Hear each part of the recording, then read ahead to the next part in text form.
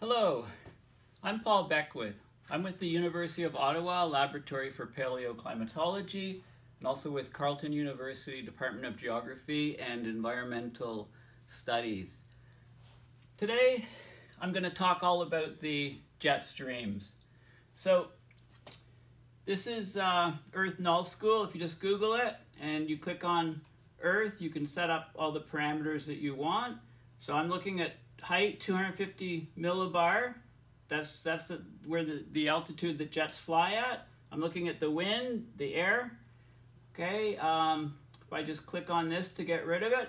So what we see is the northern hemisphere. This is um, basically real-time data. So it's taken at 20, which is uh, 8 o'clock um, local time. Okay, so local time now, it's about, um, it's almost midnight. So local time, that would be British time, UTC. Um, so add, uh, so, so you'd add five hours on. Okay, so it was taken yeah, about eight, nine, ten hours ago, something like that. Okay, this data, so it's very up-to-date data. So what we what we're looking at is the jet streams here. So these are very fast-flowing um, air currents that are near the um, separation between the lower atmosphere, which is called the tropopause, and the stratosphere, the upper atmosphere.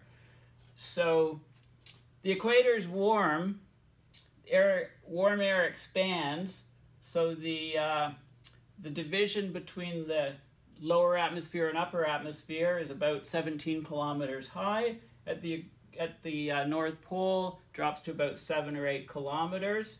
So because there's a temperature difference, there's a pressure difference, air moves from the equator to the pole, it curves to the right in the northern hemisphere because of the Coriolis force, and it sets up these jet streams that circumvent the planet. The problem is, is the Arctic sea ice is vanishing very rapidly. The snow cover in the spring is vanishing very rapidly, so the Arctic is getting a lot darker. We're in summer, it's absorbing all this extra solar radiation. We're rapidly losing the ice. Also, we get this Arctic temperature amplification, which I'll talk about. So the, the, the Arctic is warming like crazy. The equator doesn't warm so much. The temperature gradient gets reduced. So the jet streams slow down and they get wavier. So right now we can see these waves. There's a trough here, there's another trough here, another one kind of up here. There's about four or five of these. One, well, one, two, three, four, about five of these. But this is, uh, you know, the jet stream is all split and fractured and there's internal vortices and there's all kinds of stuff going on. So what I would expect as we move towards a world with no sea ice, then the, te the temperatures will greatly rise in the Arctic because they're kept close to zero on by the surface of the ice because the ice is melting. When there's no ice there, the seawater will rapidly rise in temperature. There'll be a lot of heat given off. We're going to get these jet stream um, ridges and troughs and, and splitting and eddies covering the entire northern hemisphere as we move to that state with no ice. And we get persistent and stuck patterns, as I discussed, um, talking about the waves in violin strings or the waves in the jet streams, how we get these points of resonance with the earth, uh, different topographic features, land-ocean contrast, things like that. So what's happening right now, so this behavior is the behavior of the world that we're heading to rapidly. Now also, you really need to look at the southern hemisphere jet streams, which I'm not going to do in this particular video, but when there's a synchronization of the troughs in the northern hemisphere come so far, we've seen the, the ridges go right up into the Arctic in the winter, bringing heat there in the winter. We've seen the troughs go right down to the equator. When the southern hemisphere uh, jet streams also have troughs, which are going closer and closer to the equator, they can meet and they can exchange energy, as I showed in a video, uh, controversial video about, about a year ago. So looking at the Arctic, um, let's look at the uh, temperatures here at the surface, or just above the surface. So if we look at the temperature here in the Arctic, then anything green is above zero, above zero. So we can look at the temperature. Like look at the temperature here right now over, over Greenland.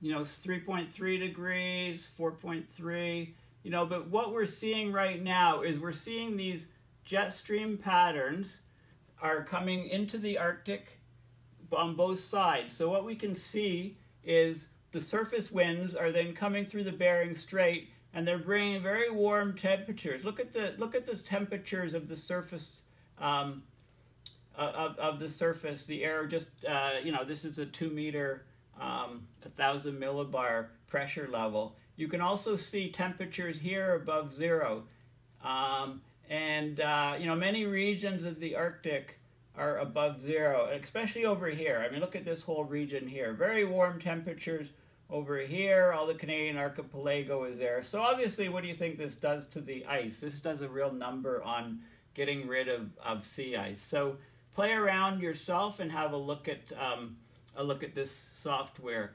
Now, I'm going to talk about a couple events that have been occurring um, recently as a result of these very wavy and distorted jet streams. But first of all, I want to bring your attention to this article. I just came up with this article. I just discovered that this article appeared in the Financial Post, one of the national newspapers, business oriented in Canada, and they have all kinds of climate deniers. And these kooks, you know, they write stuff like this. So, Junk Science Week, wherever there's a flood, someone will be there to wrongly blame it on global warming. This is so so this is interesting because I just discovered this, and look what it says here.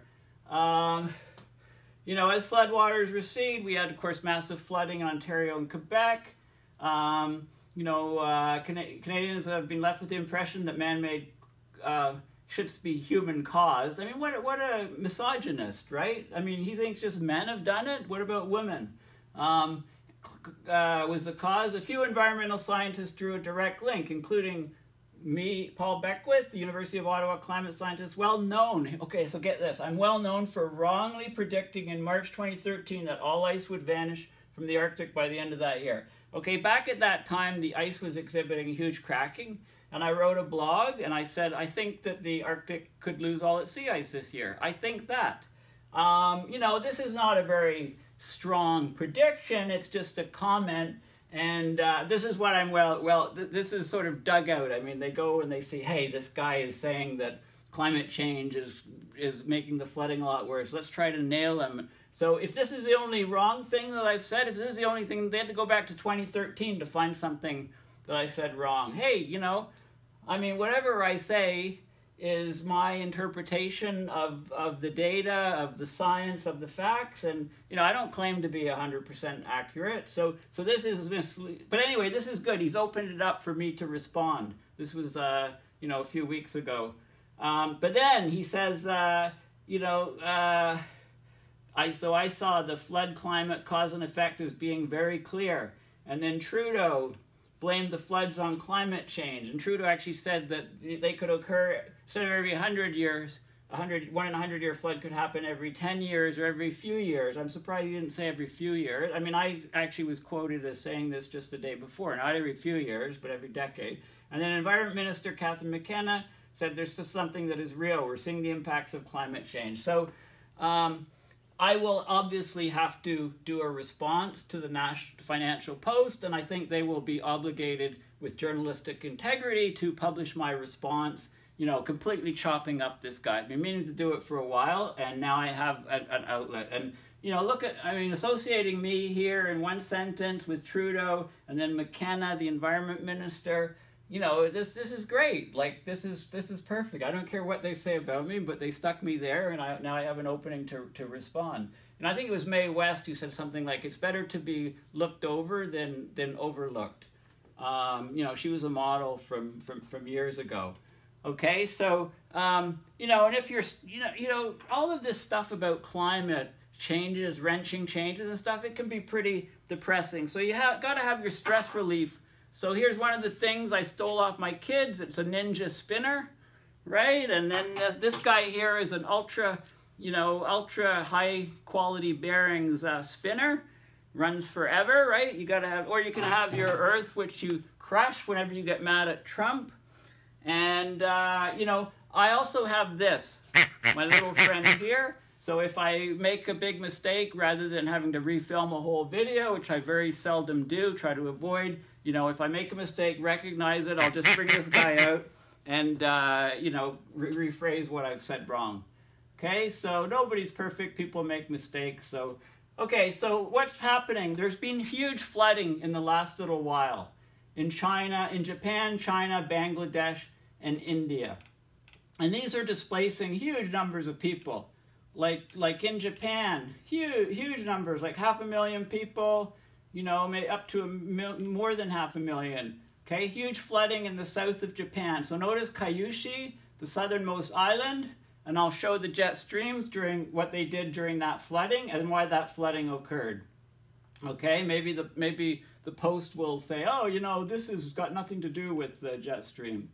Okay, China, massive flooding, 300,000 people evacuated, you know, a large part. There's 900,000 in Bangladesh, right? Um, and there's also people in India, you know, massive flooding. 400, almost 400,000 people affected over 863 villages.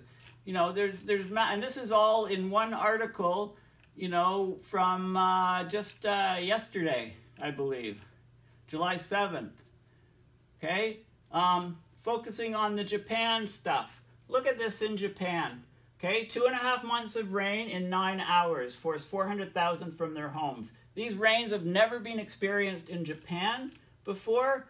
Um, they say here the southwestern island of Kyushu was hit by 774 millimeters of rain in nine hours. That's 2.2 times the amount of rain that falls in a normal July. So the whole month of July, they get quite a bit of rain, 350 millimeters, but they had 774 in nine hours. This doesn't set a global world record. I think the global world record is over like a meter in some tropical place. Um, but this is I mean, all of this rain, like it's catastrophic. To give you an idea, you know, all the flooding in Ottawa, um, that was based on 150 millimeters in April and 120 millimeters in the first week of May, 270 in total. You know, nothing compared to this, of course. But still, it caused huge damage. So it's what places get relative to what they would normally get. Okay, I mean, there's just some images here of the devastation in Japan. I mean, just, uh, you know, cra crazy stuff. Is it going to advance for me? You're supposed to click on this and it's supposed to change. But anyway, if you go to the Telegraph, okay, on look at Google the Telegraph with this flood, you can see all kinds of images of this of this horrendous uh, devastation. Okay, so what's going on? Why did that hit Japan? Okay, this is um, Earth Null School. I'm looking at TCW. The names are all up here. This is total cloud water.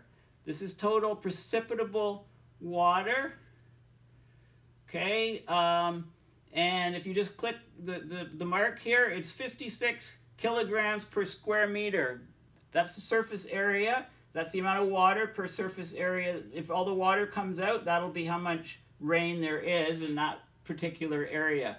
But the TCW, the total cloud water, look at it here, okay? Um, over here, it's, it's 0.564 to give you an idea. Over here, it's very, very small. Over here, it's very small. It's high here. You know, there's a hot spot here, right? This is where the flooding occurred.